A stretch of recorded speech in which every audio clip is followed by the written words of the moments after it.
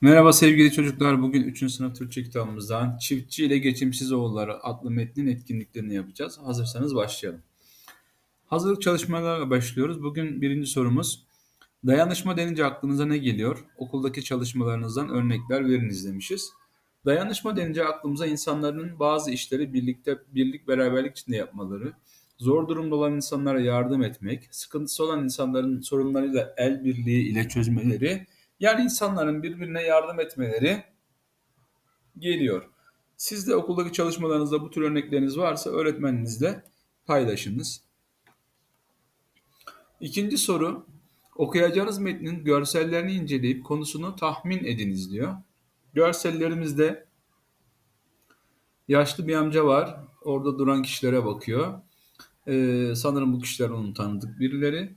Ee, bunlara bir ders vermek istiyor. Ee, ikinci şeye baktığımızda, resme baktığımızda buradaki bir çubuğu kırmalarını istiyor. Sanırım bu amca orada düşünürken bunlara bir ders vermek istiyor diye düşünebiliriz. Görelim bakalım neymiş. Çiftçi ile geçimsiz oğulları. Yaşlı, gün görmüş bir çiftçi artık yaşamının son günlerini yaşıyormuş.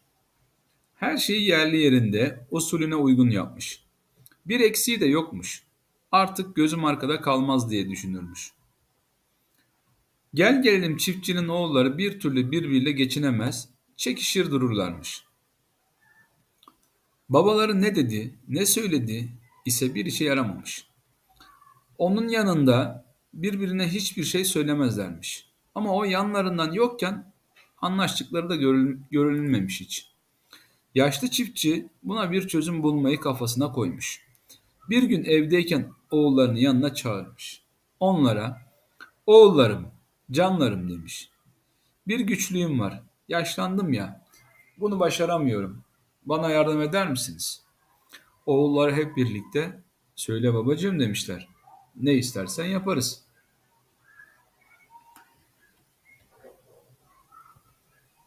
Yaşlı çiftçi önceden hazırlayıp da yanına koyduğu çubuk demetini uzatmış. Sonra oğullarım şu çubukları bir kırıverin demiş. Kırıverin bana demiş. Önce büyük oğlan çubuk demetini almış eline, uğraşmış, didinmiş, hıh, kıramamış. Sonra ortanca olan almış demeti, oturmuş, ayaklarının altına koymuş, ıkınmış, sıkınmış, o da kıramamış.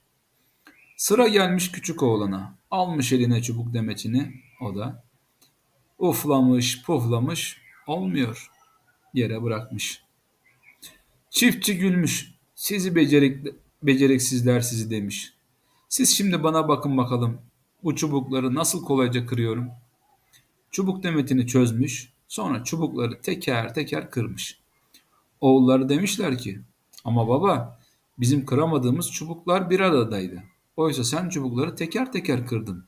Öyle elbette kolay olur. Yaşlı adam haklısınız evlatlarım demiş. İşte ben de size bunu göstermek istedim.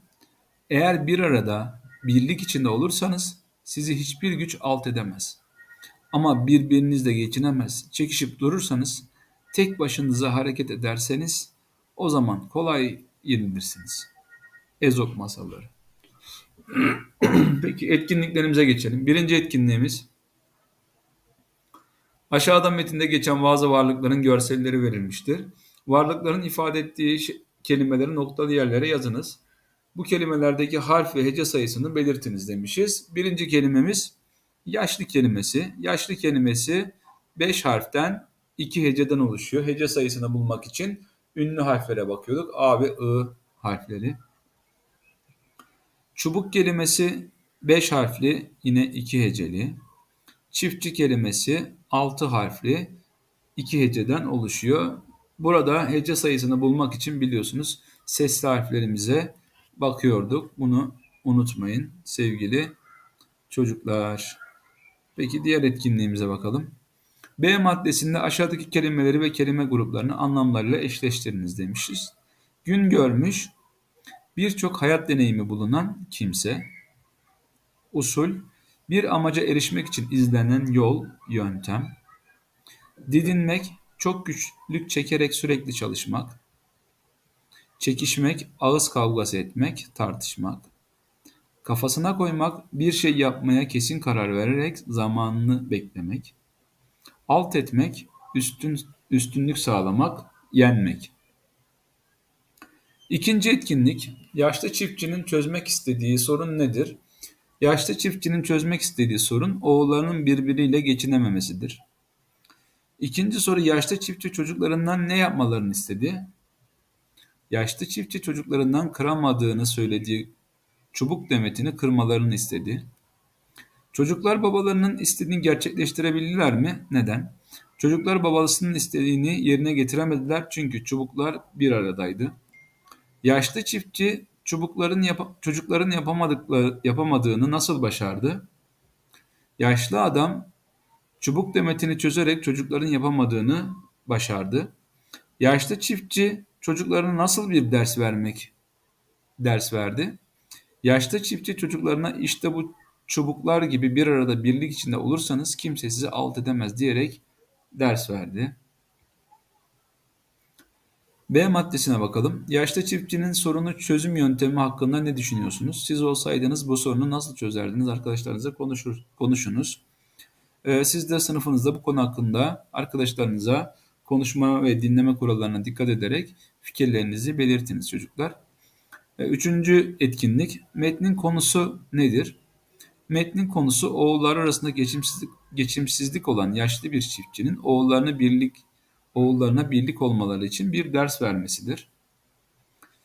Peki aşağıdaki açıklamaya göre metnin ana fikrinin noktalı yerlere yazınız. Ana fikir yazarın okullarına vermek istediği mesajdır. Yani metinde anlatılmak istenen asıl düşünce ana fikri belirtir. Bu metnin ana fikri birlik beraberlik içinde olan insanların asla yıkılmayacağıdır. Dördüncü etkinlik metnin başlığı çiftçi ile geçimsiz oğulları. Metinde bulunan şahıslar yaşlı çiftçi ve üç oğlu. Olayın gerçekleştiği mekan yaşlı çiftçinin evi.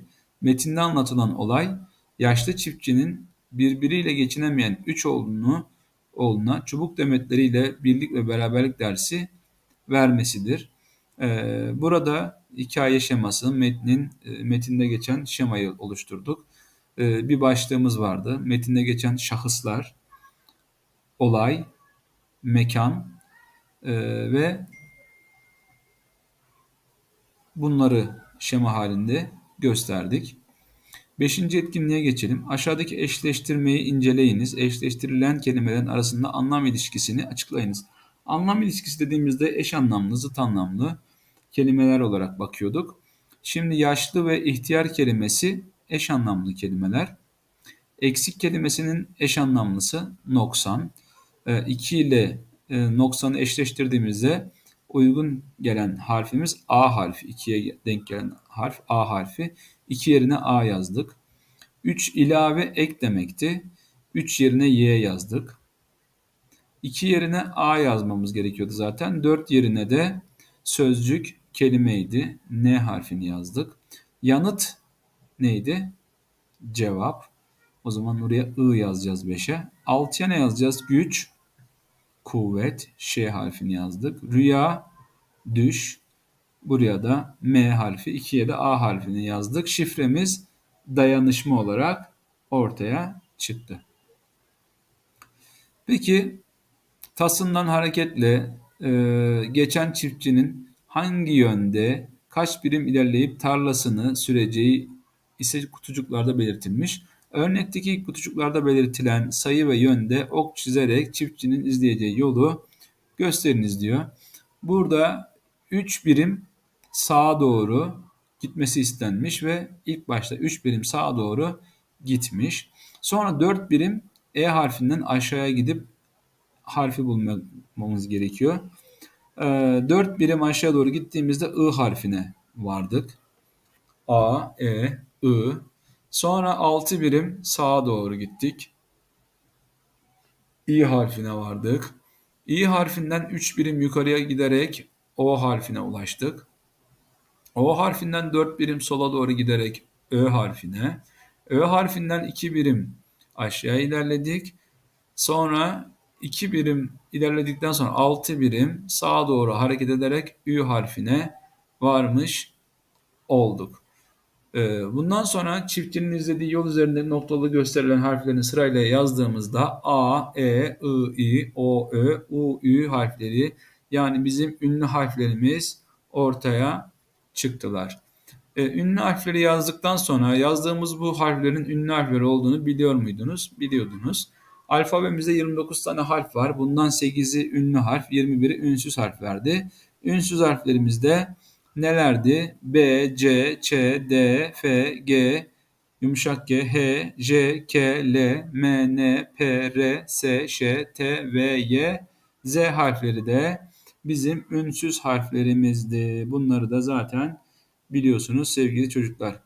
Diğer etkinliğimize geçtik. Nokta ve soru işaretlerini kullandıkları yerlerle ilgili aşağıdaki açıklamaları okuyup örnek cümleleri inceleyiniz. Siz de açıklamalara uygun birer cümle okuyunuz. Evet cümlenin sonuna nokta konur. Bunu birinci sınıftan artık birinci sınıftan beri biliyoruz. Elbisemi dolaba astım. Nokta koydum. Tamamlanmış bir cümle olduğu için. Bugün okula sevinçle geldim. Cümlemi tamamladım ve noktayı koydum. Sayılardan sonra sıra bildirmek için nokta konur. Bu yıl 3. sınıfa gidiyorum cümlemiz. İlçede yapılan koşu yarışmasında birinci oldum. Ee, bu da bizim cümlemiz. Peki bazı kısaltmaların sonuna nokta konur. Doktor Cansu Erdem, doktor derken DR kısaltılmış. Okulumuz Emir Gazi Mahallesi'nin yerine mah yazdık, nokta koyduk. Bunu da kısaltmış olduk. Tarihlerin yazılışında gün, ay, yılı belirtilen sayıların arasında nokta konur. 05.04.2010 tarihinde doğdum. Atatürk 10.11.1938 tarihinde vefat etmiştir. Ee, burada da tarihler arasında nokta koyduk. Saat ve dakika bildiren sayıların arasında nokta konur. Saat 08.30'da buluşmak için sözleştik. Okulumuz ilk ders saat 09.00'da başlıyor diyebiliriz. Soru cümlelerinin sonuna da soru işareti konur. Ee, okulumuzun okul okuduğunuz metni beğendiniz mi diye sormuş ve cümlenin sonuna soru işareti konmuş. Yeni aldığın hikaye kitabı güzel mi diye sorduğunuzda da burada da sonuna soru işareti koyduk. Sekizinci ve son etkinliğimiz bireysel bir etkinlik. Aşağıdaki yazıları inceleyiniz. Bu kelime ve kelime gruplarını harflerin yapısal özelliklerine dikkat ederek özenli, okunaklı şekilde ilgili satırlara yazınız diyor. Güzel güzel, akıllı uslu, ufak tefek, ağır ağır, gizli saklı, eğri büğrü, sıcak sıcak, büyük küçük, ıvır zıvır, tatlı tatlı, az çok, abur cubur gibi kelimelerin aslında yazdığımız bu kelimeler ikileme adı verilir. Ee, ikilemeler aynı kelimelerin tekrarlanmasıyla oluşturulabileceği gibi anlamları birbirine yakın veya zıt anlamlı kelimeler de oluşturulabilir. Seslerin benzetil, benzetilmesiyle oluşturulan ikilemeler de vardır diyoruz. Bu bireysel bir etkinlik. Artık güzel yazınızla e, altındaki boşluğa siz de yazın ve ikilemeler olduğunda bilin. E, dersimiz burada bitti. Bir sonraki dersi görüşmek üzere. Kendinize çok iyi bakın sevgili çocuklar.